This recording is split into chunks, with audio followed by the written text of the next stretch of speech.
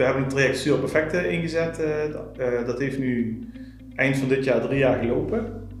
en dan zijn we heel bewust bezig geweest met de organisatie mee te nemen in het vraagstuk van, nou, wat, uiteindelijk, wat is nou buiten, wat zou je graag terug willen zien in de maatschappij en wat zijn de effecten die daarmee samenhangen. En om dat dan daarna weer heel klein te maken, zodat het tastbaar wordt in acties en resultaten, waar medewerkers aan kunnen werken om uiteindelijk ook het gewenste effect buiten te bereiken. Dat heeft best een grote verandering op de organisatie teweeggebracht. Hè.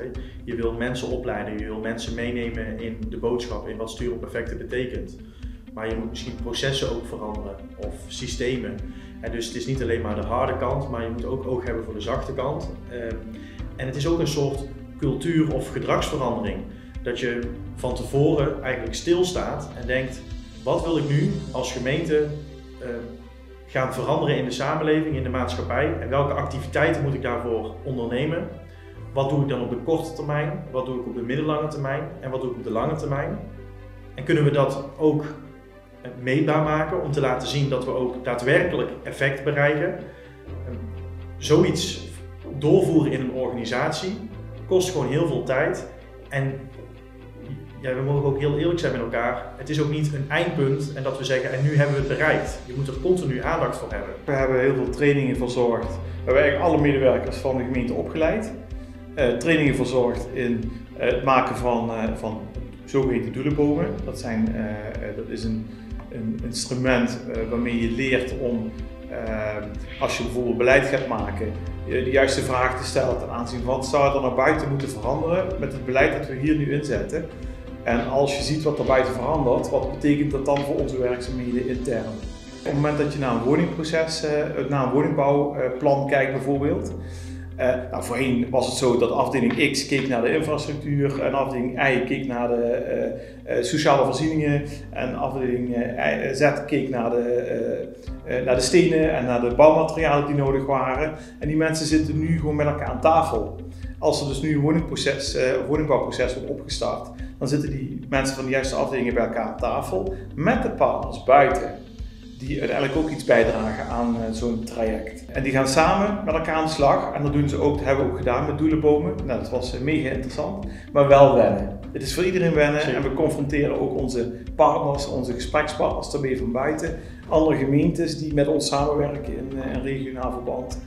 Maar ze worden wel blij van het feit ja, dat ze met ons zien wat uiteindelijk hetgene is waar we samen voor waarde staan en voor, waar we samen voor de gemeenschappelijke opgave dus het is wel heel leuk om te zien. Ja. Eigenlijk is het bijna een geloof. Uh, zie ik ons een beetje als predikanten van dat geloof. Uh, maar dat is dus de voorwaarde dat je er zelf ook sterk in gelooft dat dit hetgene gaat zijn dat ons gaat verder helpen in onze verdere aansturing van die gemeente. Dat. En dan is het inderdaad niet alleen het implementeren van een aantal instrumenten of het neerzetten van een, van een, een cyclus. Maar dat is ook echt de mensen ervan overtuigen dat dit hetgene is wat hun ook gaat helpen om uiteindelijk buiten veel meer effect te bereiken voor, uh, ja, voor misschien liever nog zelfs minder euro's.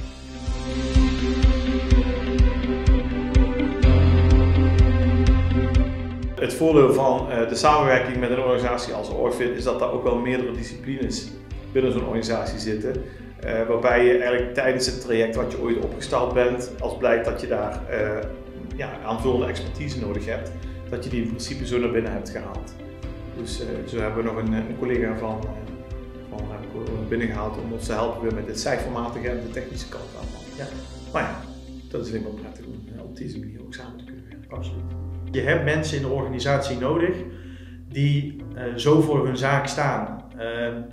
Je kan als Orgfit natuurlijk echt mooie resultaten bereiken bij klanten, maar het kan pas alleen als er daadwerkelijk mensen in de organisatie zijn die er geloof in hebben en die zelf misschien die ambassadeur zijn. En daar is Jeroen ja, echt een voorbeeld van. Vanuit jouw rol probeer je ook continu de vaart erin te, te blijven houden, wat ik ook wel erg belangrijk vind. Ja.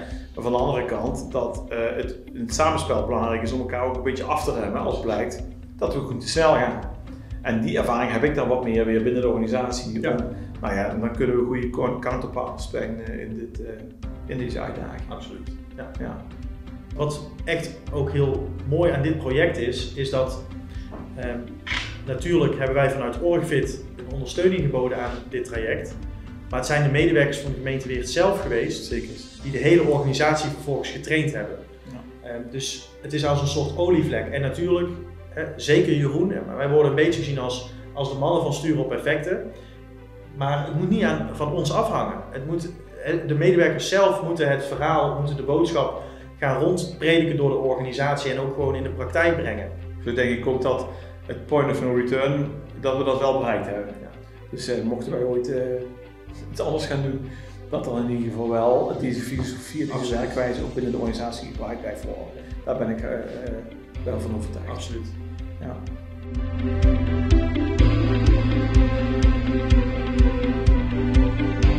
Als een organisatie die eh, eigenlijk in de basis haar werk gewoon goed doet.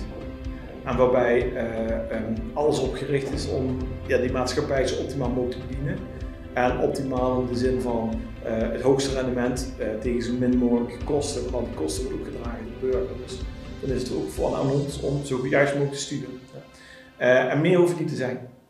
Ehm, dat.